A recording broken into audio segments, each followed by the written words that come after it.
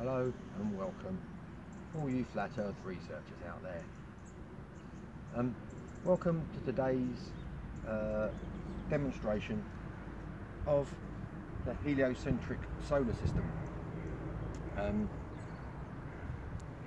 um, so this is uh, just a practical demonstration model to, to give an idea of the rotation of the orbital bodies around the Sun.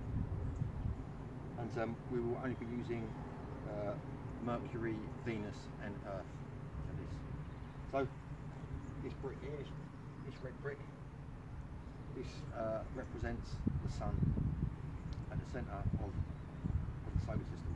And um, I'm, I'm actually in uh, this direction um, because the sun is, is obviously over here in the south, so looking the sun. Right, so in this uh, crazy uh, heliocentric solar system uh, model, um, we have we have uh, uh, Mercury, which is uh, the first orbital body of the sun, and it's give or take a little, it's um, 15 million kilometre second orbital body of the Sun is Mercury. This is, uh, uh, give or take a little, 100 million kilometre from the Sun. And third, we have our representation of Earth, which is, give or take a little, 150 million kilometre from the Sun.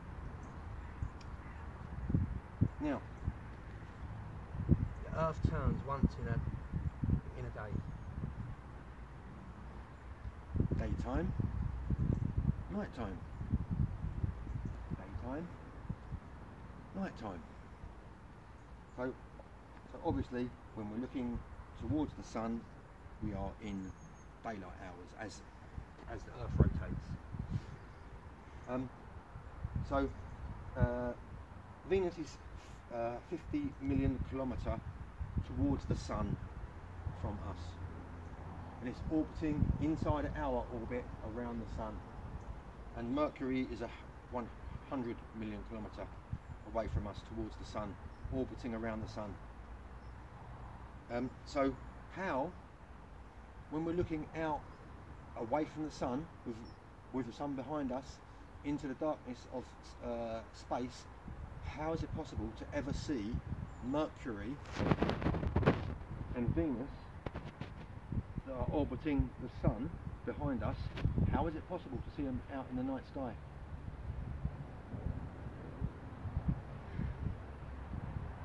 How is it possible? And um, so, Earth.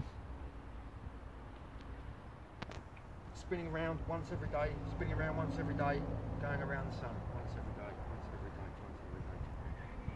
365 times comes back. To complete its orbit. Still, out here is night time, all the way around, when we've got our back towards the sun. So, um,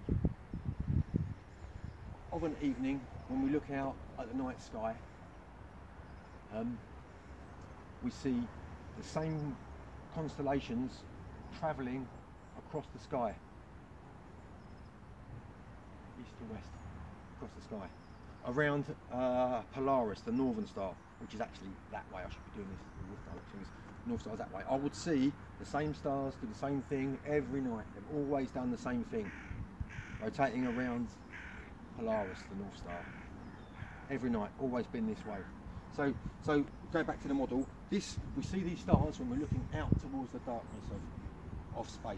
So six. So we for reference purpose, I'll say this is a, a summer solstice, um, and uh, uh, we're looking out for the night sky. So um, six months later, Earth, take my little ball with me, Earth travelled half the way around the solar system to the other side of the solar system, and um, we're looking out into space in this direction the opposite to where we were at summer solstice and we see exactly the same stars doing exactly the same thing. How? We're looking out into the, the depths of space, the other side of, of, of, of the um, uh, universe in this crazy heliocentric model where the sun is apparently travelling at 600,000 mile an hour and the earth is travelling around that at, at 60,000 mile an hour. So the sun is moving through space at 600,000 mile an hour. At the same time the earth is going around this at 60,000 mile an hour. And so the mechanics of what the sun has to do, it has to speed up to come round in front and slow down to catch up and go around reverse.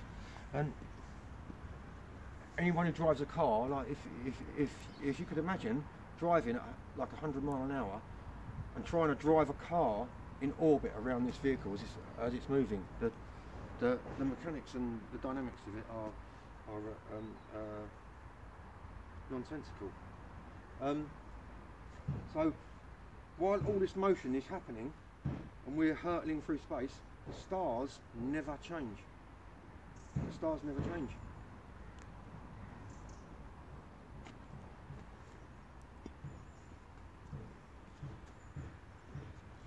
And that ends today's demonstration of the heliocentric model.